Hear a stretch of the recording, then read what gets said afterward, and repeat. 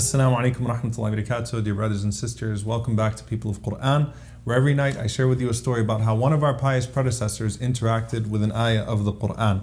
So this is a really interesting story because it starts off with a hadith of the Prophet about one of the companions, and then that companion being asked about it.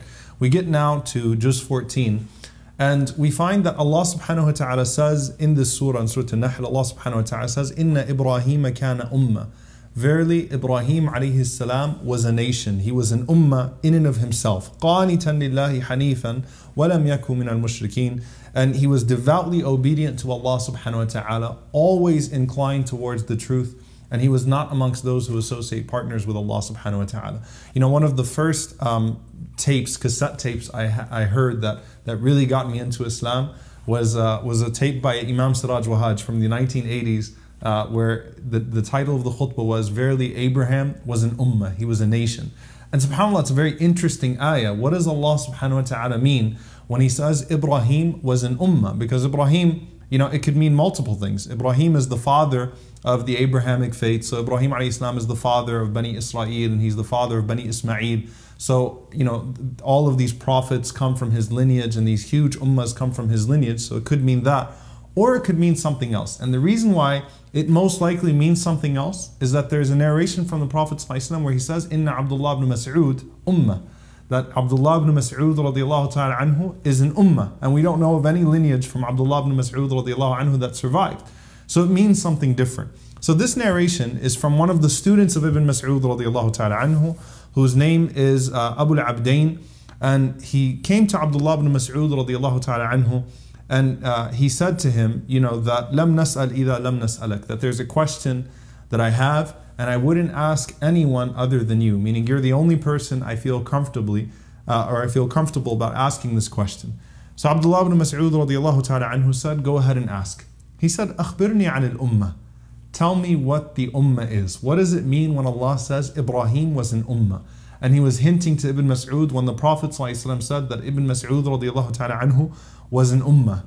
And Ibn Mas'ud radiallahu ta'ala anhu responded, and you can see the humility of this companion. He says, Inna Mu'adhan kana ummatan qanitan lillahi hanifa.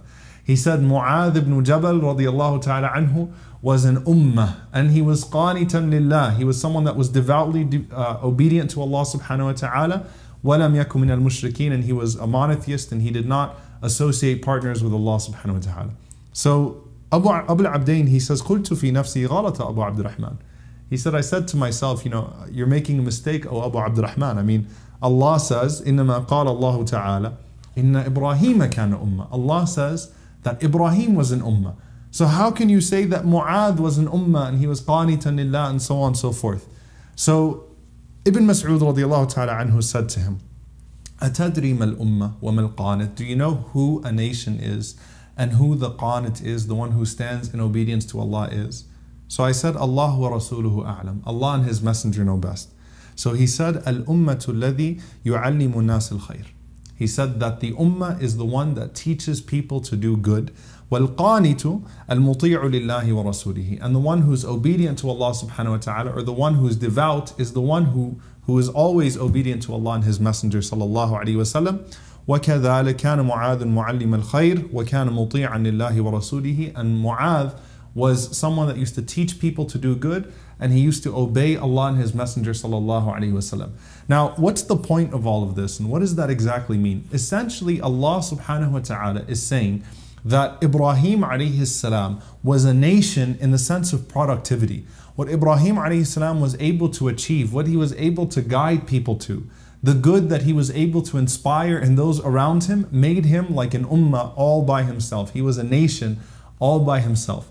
And the Prophet ﷺ is saying, this man, Ibn Mas'ud radiallahu what he was able to achieve, or what he would achieve even after the death of the Prophet ﷺ, was more than an entire nation would achieve. The amount of people that Ibn Mas'ud taught the Quran and taught fiqh and taught hadith, and the amount of people that he guided towards good character and good manners, was more than what an entire nation would be able to achieve.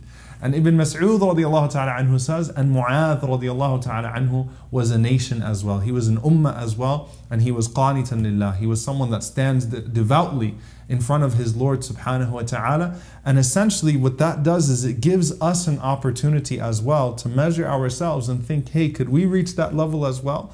Where the amount of good that we put forth is greater than a group of people, greater than an entire nation. Are we capable of that? And the hope that we take from the hadith of the Prophet ﷺ about Ibn Mas'ud and what Ibn Mas'ud said about Mu'adh is that anyone can achieve that, inshaAllah ta'ala. Ad-dalu al-khayr kafa'ili. The one who guides to good is like the one who does good. So think about what you inspire in people. Think about what you're guiding people to and think about how productive you want to be. And don't say to yourself, you just want to stand in front of Allah subhanahu wa ta'ala as someone that prayed and did, you know, prayed a lot and fasted a lot and so on and so forth, but rather someone that inspired his family, inspired his community, and inspired the people around him so that he or she was like an entire nation. We ask Allah subhanahu wa ta'ala to raise us in the ummah of Rasulullah sallallahu alaihi wasallam and to raise us as well as people that achieved what nations could not achieve and we ask Allah to accept from us. Allahumma ameen. Jazakumullahu khairan for tuning in. I'll see you all tomorrow inshallah for people of Quran. Wassalamu alaikum wa rahmatullahi wa barakatuh.